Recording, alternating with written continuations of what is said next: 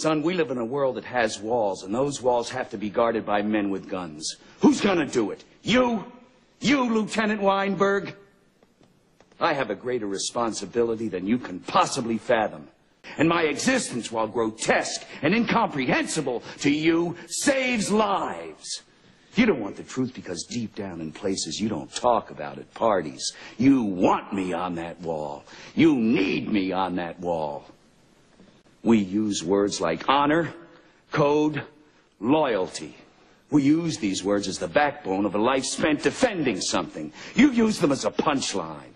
I have neither the time nor the inclination to explain myself to a man who rises and sleeps under the blanket of the very freedom that I provide and then questions the manner in which I provide it.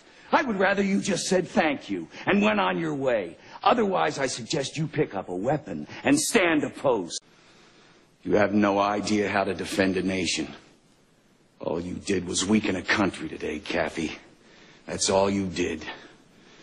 You put people's lives in danger. You can't handle the truth.